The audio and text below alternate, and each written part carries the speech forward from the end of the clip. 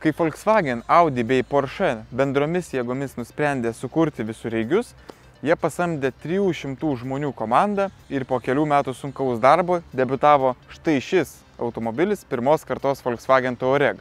Jis buvo gaminamas nuo 2002 iki 2010 metų, o 2007 buvo atnaujintas. Inžinierių tikslas buvo sukurti tokį automobilį, kuris tiktų ir bekelės, ir sportiško vairavimo mėgėjams. Todėl šio automobilio mechaniniai mazgai yra tvirti, o siūloma plati variklių gama, kurioje yra net ir tokių egzotiškų agregatų kaip 5 litrų V10 TDI arba 6 litrų W12 benzininis motoras. 2007 metais atnaujinti modeliai gavo kiek ekspresyvesnę kėbulo išvaizdą, tai yra banguotus štai tokius žibintus, kitokias priekinės groteles, tačiau kartu jie gavo ir įdomesnių saugumo bei inovatyvių technologijų. Tai yra ABS plus stabdžių antiblokavimo sistema, tai yra aktyvi automatinio greičio palaikymo kontrolė, o kai kurie atnaujinti modeliai turėjo ir aklosios zonos stebėjimo sistemą. Pirmos kartos Volkswagen Touareg yra labai didelis automobilis. Galima sakyti, kad jeigu laukia yra didelis vėjas, tai šis automobilis gali tapti puikia užuovėje. Jo aukštis siekia net 1,70 m, plotis siekia beveik 2 metrus, o bendras ilgis yra apie 4,7 m.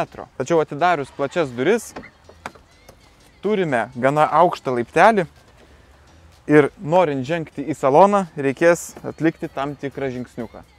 Pirmos kartos Volkswagen Touareg savo debiuto metu tikrai galėjo padaryti puikų įspūdį dėl viduje paliktos kokybės. Čia panaudotos atrodo kokybiškos, kai kurios netgi minkštos medžiagos, kitos yra kiek kietesnės, tačiau net po kelių šimtų tūkstančių kilometrų jau kai kurios detalės yra gana smarkiai apsitrynusios, mygtukai apsilupę ir apsibraižę, todėl tai nėra toks kokybiškai surinktas automobilis, kaip pavyzdžiui kai kurie Mercedes-Benz visureigiai. Kai kurie pirmos kartos tuaregai turi štai tokią medinę apdailą, kurie tikrai suteikia šiam automobiliui solidumo. Kai kurie vairuotojai galbūt atsisėdė į šį automobilį po senų jaguarų, jausis čia kaip namie, nes net vairo ratas yra aptrauktas medinė apdaila. Jį tikrai malonu laikyti rankose. Kai šis modelis buvo kūriamas, žmonės dar naudoja mygtukinius telefonus, štai tokių išmaniųjų ragelių nebuvo, todėl jį pasidėti šiame modelyje reikia susirasti kur. Pavyzdžiui, štai čia jisai telpa iš bėdos, tačiau didesnis telefonas tikrai netilps, tačiau telefoną galite iš tikrųjų pasidėti štai čia. Atsidaro daiktadėžė, jinai yra padengta kilimėliu, reiškia, jeigu užsidarysite ir važinėsite, telefonas nebarškės ir nesidaužys į šonus. Šios daiktus taip pat galite įsidėti ir iš tai šį porankį, jis yra pakankamai gilus. Vandens buteliuką galite įsidėti iš tai šiuos du podelių laikiklius, tiesa, jie labiau tinka kavos podeliams, o ne vandens buteliukams, tačiau mažą vandens buteliuką laisvai įtalpinsite į durų kišenes.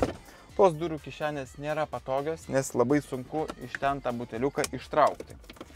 Jeigu vežiojatės didesnį vandens butelį ir mėgstate atsigerti šaltą gėrimą, tai galite pasinaudoti štai šią šaldomą daiktadėžę, kuri sutalpins ir didelį vandens butelį pašnekėsime ir apie šio automobilio valdymo savybės, kaip jisai elgesi kelyje, kokia yra garso izolacija.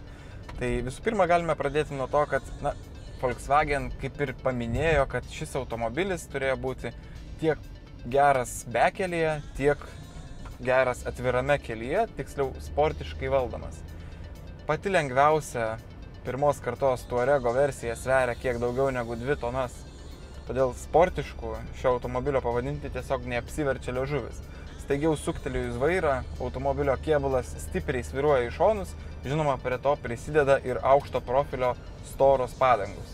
Tačiau bekelėje jis važiuoja tikrai pagirtinai, kapstosi visais varančiais ratais, net ir į stačias įkalnes. Pagal savo dinamiką, su kai kuriais galingais dizeliniais varikliais, šis automobilis gal ir iš tikrųjų galėtų būti vadinamas sportišku. Tačiau norėdami greičiau įsukti į posūkį, turėsite stipriai prisistabdyti, nes 2 tonos inercinės masės vis tiek nepaneigs visų fizikos dėsnių. Konkrečiai šis automobilis yra su 3 litrų V6 TDI varikliu, turi pakankamai, daug, pakankamai didelį sukimo momentą, turi klasikinio tipo automatinę pavarų dėžę, kuri puikiai tvarkosi su gale ir labai efektyviai ją paskirsto į varančiuosius ratus, tokiu automobiliu važiuoti tiek mieste, tiek užmestie yra vienas malonumas. Kitas įdomus dalykas yra garso izolacija. Tai pirmos kartos Tuaregas turi tikrai gerą garso izolaciją, tiek vėjo, tiek kelio, tai yra padangų keliamas triukšmas sugertas puikiai. Tiesa, kiek girdisi dizelinio variklio darbo tonas, tačiau nuo jo niekur taip ir nepabėgsi. Dizeliniai varikliai truputį garsiau dirba ir nėra tokie rafinuoti kaip kai kurie benzininiai agregatai. Gyventi su šiuo automobiliu yra labai paprasta Sėdite aukštai, turite puikų matomumą praktiškai visomis kryptimis, šoniniai veidrodžiai yra labai gero dydžio, todėl per juos labai gerai matysite, kas vyksta už jūsų arba kur jūs važiuojate atbulinę pavarą. Žinoma, didžiausia dalis vairuotojų tikriausiai tokius automobilius renkasi būtent dėl to faktoriaus, kad jūs sėdite labai aukštai ir puikiai viską matote. Tai dėl to šis automobilis yra išties geras pasirinkimas. Per kelio neligumus Tuaregas važiuoja minkštai, tiesa, minkštumą labai nulėmė pasirinktos padangos. Jeigu padangų profilio aukštis yra žemas, tai žinoma, tas komfortas nueis šuniui ant uodegos. Jeigu automobilio padangos yra tokios džipinės, tai yra tokios, su kokiamis turbūt jie ir buvo gaminami, tai šis automobilis puikiai tvarkosi su kelio neligumais, su duobėmis, netgi važiuojant žvirkeliu salone yra visiškai ramu, tai yra iš esmės atpalaiduojantis automobilis. Naudotis šio automobilio funkcijomis, tai yra valdyti visą šią pramoginę sistemą, yra vieni juokai. Sunku sugalvoti kitą automobilį panašių metų, kuris būtų geriau išsprendęs būtent tuos vartojimo patogumo klausimus. Mygtukai spaudžiasi maloniai, tiesa, jau kaip matėte, kai kurie iš jų yra stipriai nusidėvėję. Tiek apie šio automobilio važiavimo savydas, o dabar netrukus eisime patikrinti, kokia situacija yra sėdintiems gale. Atsisėsti paskui vidutinio ūgio vairuotojo gale yra visai patogu, būtų truputį patogiau, jeigu būtų suteikta daugiau vietos keleivio pėdoms. Būtent jos sunkiai telpa po vairuotojo sėdinę, jeigu vairuotojas mėgsta sėdinę nusileisti kuo žemiau. Čia gana patogu keliauti ir trise. Yra nemažai vietos tiek kojams, tiek galvai. Taip pat durise yra kelios daiktadėžės, kuriuose telpa kažkokie smulkus jūsų daiktai. Štai yra ir toks gana patogus porankis, kuriame galite pasidėti ir planšetę arba savo mobilų telefoną arba piniginę.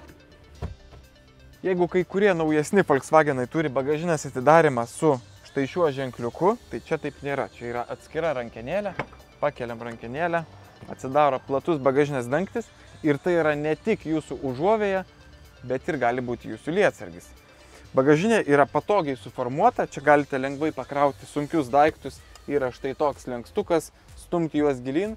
Tiesa, nulenkus sėdynės gaunamas šioks toks laiptelis, todėl reikės atsidarius galinės duris tą krovinį truputį pataisyti. Su pirmos kartos Volkswagen Touareg gamintojas nubrėžė labai aukštus standartus visiems kitiems šios grupės kuriamiems visureigiams. Tai labai patogus bei itin pajėgus visureigis visiems gyvenimo atvejams ir ekstremaliausiams kelionėms ne tik asfaltuotų, bet ir pavyzdžiui žvyrų grįstų keliu.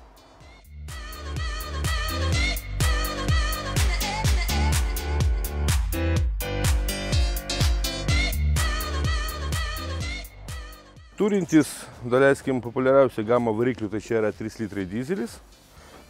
Yra patvarus varikliai, bet e, yra silpnų vietų. Tiek turbinos, tiek purštukai, MGR ir įsirubimo sklendis irgi. Didžiausia gal problema, su kuria susidūrė mūsų žmonės, tai čia yra su pneumatinė pakaba. Jis yra gan patikima, bet e, reikalaujanti daug investicijų ir taip pat priežiūros. Dėl elektronikos yra silpna vieta ties skidelio, ties pačios platformos, kur yra. Ten būna irgi išsilieję ekranai. Tiek ir benzininiai varikliai, tiek ir dizeliniai bijo sportinių režimų, nes po to pradeda greit labai susidėvėti turbinos, tiek pat ir galiniai tiltai pavrūdėžė. Tai kad jeigu pirkti tokią mašiną, tai patarčiau patikrinti dileriniam servise ir labai gerai patikrinti, ta prasme, kilometražą.